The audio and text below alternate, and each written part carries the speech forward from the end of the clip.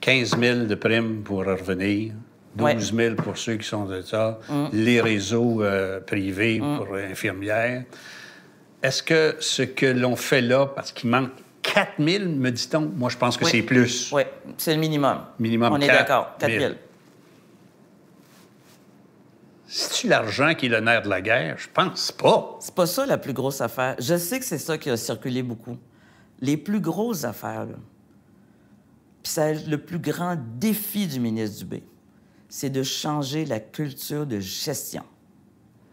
Ça, ça veut dire, là... Ça, ouais, ça veut dire. Ça veut dire, Merci là... de poser la question parce que ça veut dire quoi? Ça veut dire, là, par exemple, quand il parle des horaires, en ce moment, là, il y a quelqu'un à 50 km qui décide de mon horaire de travail où est-ce que je suis?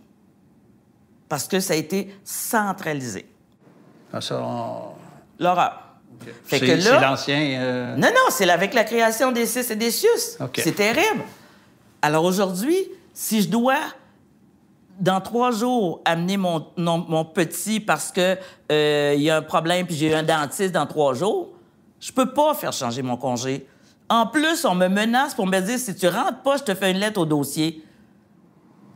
Puis en plus, à soir, tu resteras parce que le chiffre. By the pas. way.